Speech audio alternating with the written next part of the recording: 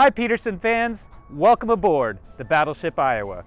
I'm Jonathan Williams and I am going to take you on an adventure aboard this 887 feet 3 inch marvel of engineering.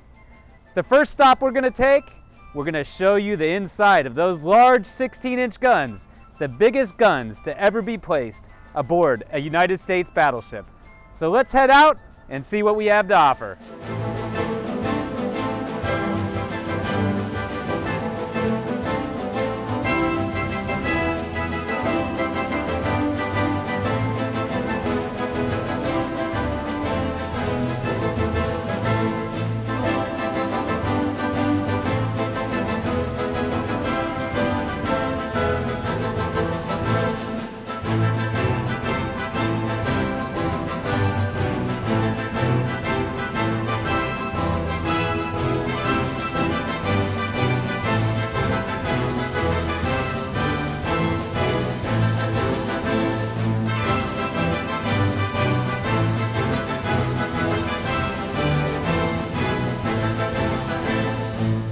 Ask where the Battleship Iowa is located at. It's in San Pedro, which is a neighborhood of Los Angeles, so we're in the Port of Los Angeles complex. More cargo comes through this port than any port in the Western Hemisphere. Down here at the LA waterfront, which it has become branded as, we're under a rapid redevelopment. We have a brand new waterfront retail complex that will be built within the next year and a half that has a craft brewery, craft type of restaurants, a full walking waterfront and entertainment experiences, as well as a 5,000 seat amphitheater. When you're out here on the water, the weather is beautiful just like it is today. It's cooler than it is in the valley, and there's no better place than to be here watching the movement of trade and commerce and the movement of our cruise ships coming in out of the port and looking at this beautiful view of the most iconic battleship on the West Coast. Right now we're inside Turret 1 aboard historic battleship Iowa. This ship has three triple turrets. That means nine guns that fire 16 inch 50 caliber shells, a range of almost 24 miles. Can you imagine each one of those guns firing a shell twice in one minute? There'd be about 75 sailors in this entire turret structure, which goes down approximately five decks to include powder flats, shell flats, an electrical deck, as well as what we see here with the gun. You would have a 1900 to 2700 pound round that would come up from the shell decks, and then you would put six 110 pound bags of powder behind that shell to propel it. It could be fired locally, it could be fired in the main or secondary plot, which we'll show you that on this brief tour, or it could be fired from up in the bridge area. So let's head to the next spot where I'm going to show you some historic space uh, that really was a part of this ship's history.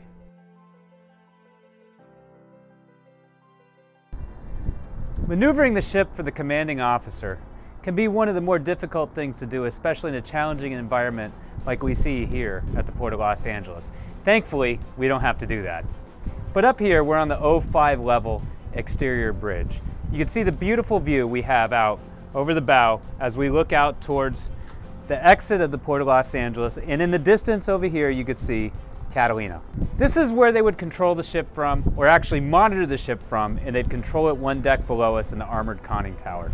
You'd monitor the speed, you'd monitor the, the uh, amount of power that you would put towards the engines. This is a steam-powered ship, and we're gonna show you that space momentarily, but when you have four screws propelling at 212,000 shaft horsepower, you can imagine how fast this goes at 35 knots of maximum speed in the ocean. This may beat some of your steam-powered cars at the Petersen. So join me in looking at our engine room.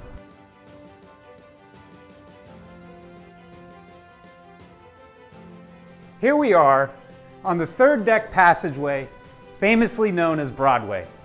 What you can see here is you can see a main deck rail or a deck rail that goes right through here.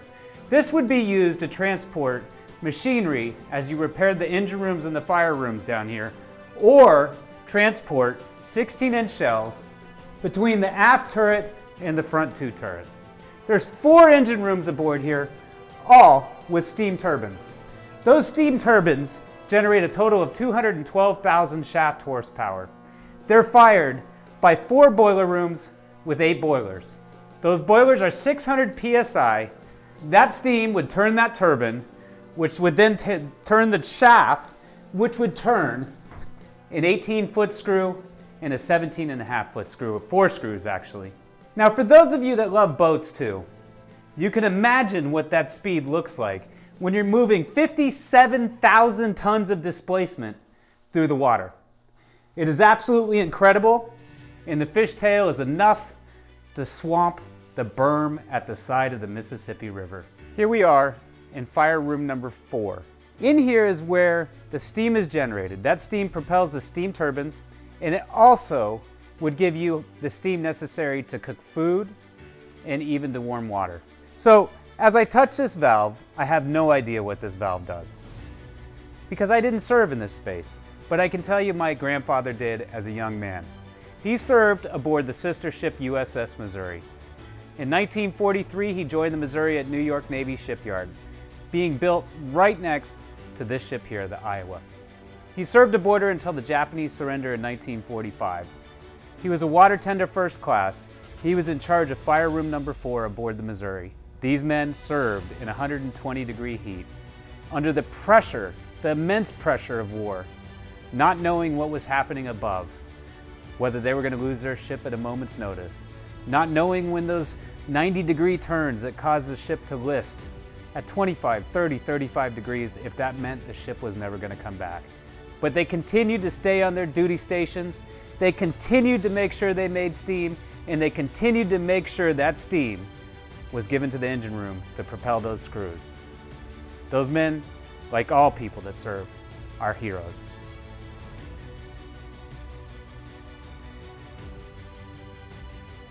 So here we are in one of the engine rooms of the Battleship Iowa. This is number four engine room. Here we have our steam turbine. And that drives a reduction gear. And the reduction gear will drive the shaft, which drives the screw. Now, I gotta say, for those of you on the Petersen, you know, I got a deepest respect for you. But I always tease my dear friend Kip Cypress, who's also involved here at the Iowa and supports what we do, about who has the most shaft horsepower or who has the most horsepower. And I gotta tell you, I got every one of you beat. At 212,000 shaft horsepower, I think we win hands down. I may also have you beat on what it takes to keep this thing going. All right? A 1943 ship, compare that to some of your 1943 cars. Yeah. So I got you beat in a couple ways.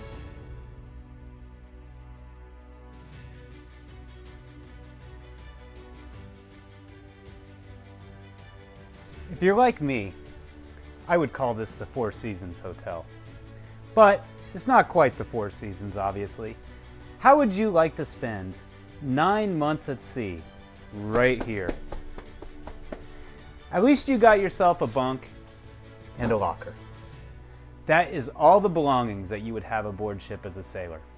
In the 1980s, 1,500 plus sailors served aboard this ship. And in World War II, in the 1950s, in the Korea War, you had almost 2,700 sailors that served aboard her. This is tight confines, obviously. These are the enlisted sailors areas. But I can tell you, if you're a sailor working 16 to 20 hour days, that's the Four Seasons.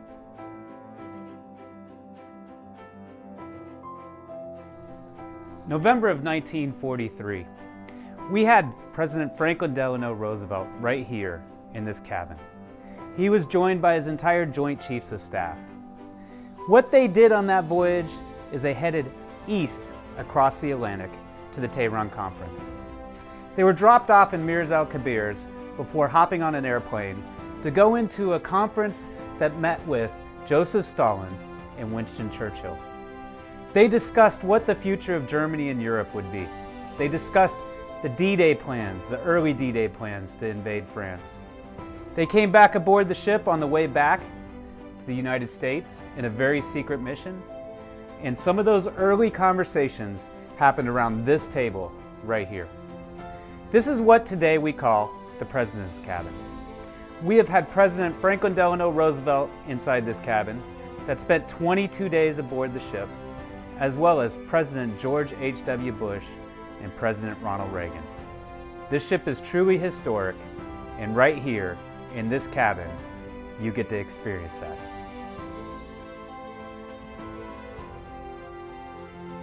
As we continue on this tour, we're about to walk by the starboard side Harpoon anti-ship missiles.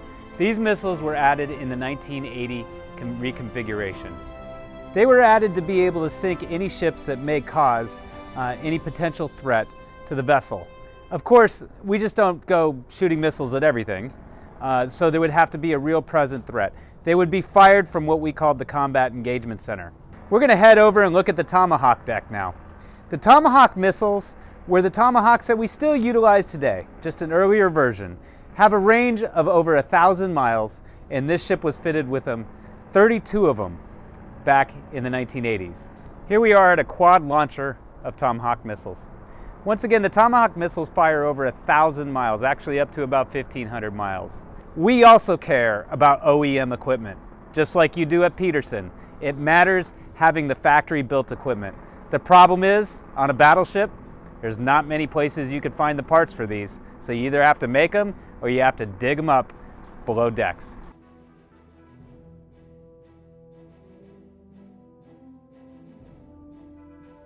This is the area where the 16-inch guns would be fired and the calculation would be made depending on how in the distance of the ships that would be over the horizon. At 24 miles, you could imagine you can't see something like that from the main deck. That would be seen from the top of the ship in the optical viewfinder. The Kingfisher planes in the 1940s, the helicopters in the 50s, and the RPVs, the drones, in the 1980s, would scope out at 24 miles, provide the data back to the ship. That data would be fed into this computer here, which is 1940s technology, calculated, the barrels would actually adjust on sea condition, and when ready to fire, these lights would tell you which turrets were prepared. When they were ready to fire and the formulas were, were set in, here we go. Boom, you fire a gun. As you look around, you saw plenty of computers in this space. Those are 1940s technology. In the 1980s, upgrading it to the modern semiconductor technology would have been almost impossible because the vibration of those large 16-inch guns would have pretty much fried those computers the minute it went off. So the only way to continue serving was to keep this technology from the 1940s. The technology that was proven to be accurate, to be able to function with these large 16-inch guns was kept through the 1980s and used with amazing accuracy.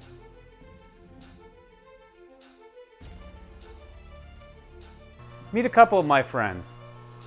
They're culinary specialists in today's Navy. They're mess specialists in yesteryear's Navy.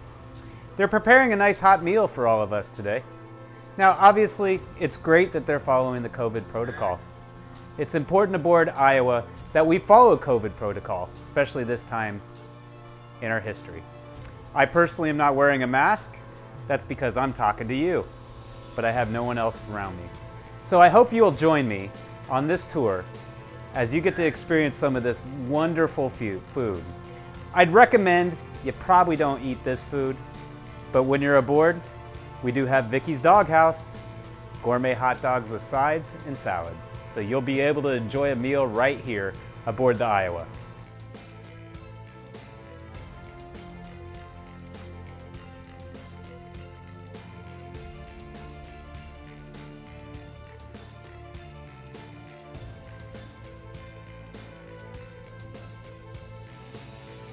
April 19th, 1989, the center gun of Turret 2 exploded. You've seen inside Turret 1. You've seen how tight that is. It's a dangerous job. This ship lost 47 sailors. In the largest loss of life peacetime incident in the United States Navy. Another 1,400 plus sailors fought to save their ship that day. Every day, we honor the service of those sailors. Every day, we help veterans and military service members throughout LA and across the country access their benefits and help them transition. It's because of these 47 sailors that lost their lives aboard here and the 1,400 plus sailors that fought to save their ship. I want to thank the Petersen for allowing you to join me on this short tour of the Battleship Iowa. There of course is a lot more that you could see when you come here to visit the Iowa. Not only are you visiting a piece of history, you are also supporting one of the last remaining battleships of the United States. You could learn more about our organization at pacificbattleship.com. You can find more about what we do, including our veterans programming, our Veterans Resource Center, our education programs, our tour programs, and even our community programs, including first responder training and disaster preparedness. No matter who you are, and if you're in LA, you may be affected by something that we're involved in. So I encourage you to come down, see what we do, see how we can uh, give you an experience of a lifetime and a memorable experience. And thank you for joining me on this journey.